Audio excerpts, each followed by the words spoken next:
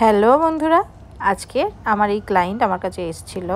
তার হেয়ারের মেকওভার করতে। দেখতেই পাচ্ছ, ওর হেয়ারে হাইলাইট করা ছিল যেগুলো অনেকটা নিচে নেমে গেছে এবং কাটিংটাও সেইভাবে আর বোঝা যাচ্ছে না। তো তাই হেয়ারের মেকওভার করতে এসছে।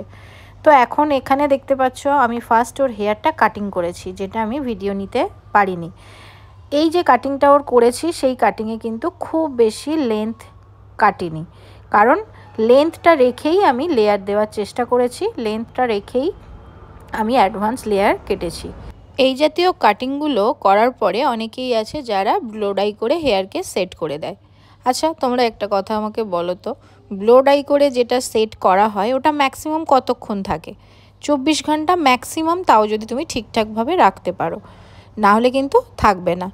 তো আচ্ছা চব্বিশ ঘণ্টার ওই সেটিংটার জন্য যে পরিমাণ হিট হেয়ারে দেওয়া হয়, সেটা কি তোমার হেয়ারের জন্য ভালো? কোনো দিন এটা কি প্রশ্ন করে দেখেছ নিজেকে? আচ্ছা এই যে তুমি কাটিংটা তোমাকে যেভাবে সেট করে দেখানো হচ্ছে, এই সেটিংটা কি তোমার হেয়ারে যখন নর্মাল থাকবে সেট করা নয় আর কি, তখন এই সেটিংটা কি থাকবে? এই ফলটা কি দেখা যাবে? সেটা কোনো দিন প্রশ্ন করেছ? করনি।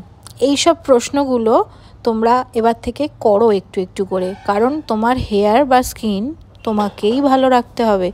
কোন জিনিসগুলো তোমার হেয়ার বা স্কিনের জন্য খারাপ, কোনটা তোমার হেয়ার বা স্কিনের জন্য ভালো, সেটা তোমাকেই বুঝতে হবে।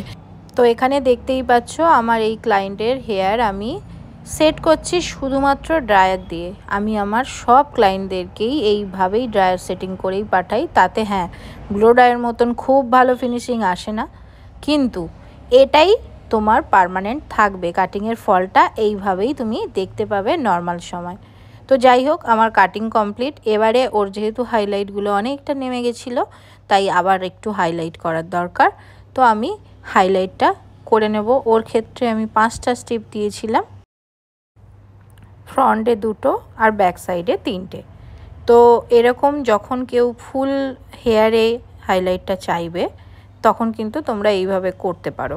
তাহলে একদমই অল ওভার হেয়ার কভার হবে। তবে হ্যাঁ আরও ঘন ঘন যদি দেখাতে হয়, সেক্ষেত্রে তুমি সাতটা, নটা বাড়াতে পারো। মিনিমাম পাঁচটা তোমাকে দিতেই হবে। হাইলাইট করার সময় তোমাকে একটা জিনিস মাথায় অবশ্যই রাখতে হবে। তোমার যে ক্লায়েন্ট তার ফ্যামিলি ব্যাকগ্রাউন্ড কেমন, সে নিজে কেমন, সে কতটা ক্যারি করতে পারবে, সবটা। তো সেই সবটা দেখে এবং ওর চয়েস অনুযায়ী আমি এই হাইলাইটটা করেছি শুনে নাও ও কি বলছে। কেমন লাগল বলো? খুব সুন্দর লাগল। কালারটা পছন্দ কালারটা হয়েছে? এসেছে। কাটিংটা পছন্দ হয়েছে। কাটিং কালার দুটোই খুব সুন্দর হয়েছে। আমি যেমন খুশি তেমন করে এটা করতে পারব। ঠিক আছে? ঠিকঠাক লাগছে? Thank you most welcome